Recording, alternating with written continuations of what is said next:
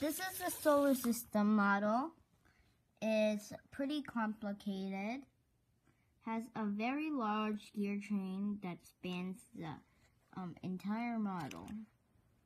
So let's see how it works. First of all, we have the motor unit. Let's talk about that first. In the motor driving, the motor is driving an 8-tooth gear, driving a 24-tooth gear, driving an 8-tooth gear. As you might know, this 24-tooth gear is an idler gear, and it has um, no change on the gear ratio. But this last 8-tooth gear is connected to the worm gear.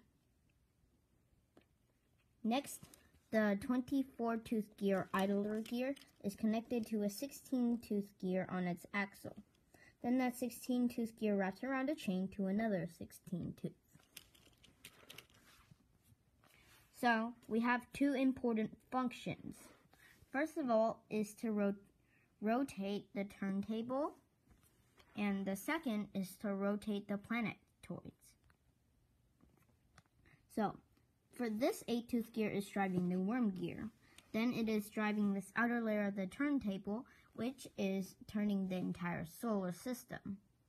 The next thing the motor connected to is um, the planet spinning.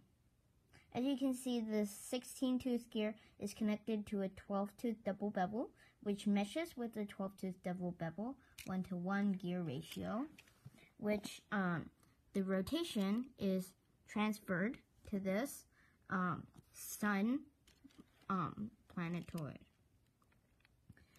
We have not too complex gear train down here where the 12 tooth gear is connected to 24, which is connected to 24, which is connected to 24, which is connected to 24, which then spins an 8 tooth gear, which is connected to the Earth and Moon. The Moon will sort of spin around the Earth. Um, because of this, Earth will spin um, three times faster than the Sun, which also makes some sense.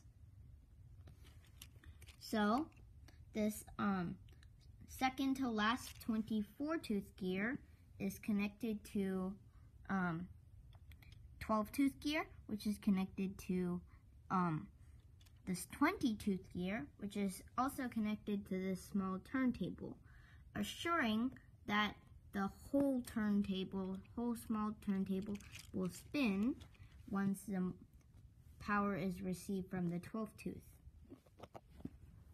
So, after you gain that knowledge, this um, complicated model um, can be understood. Bye bye.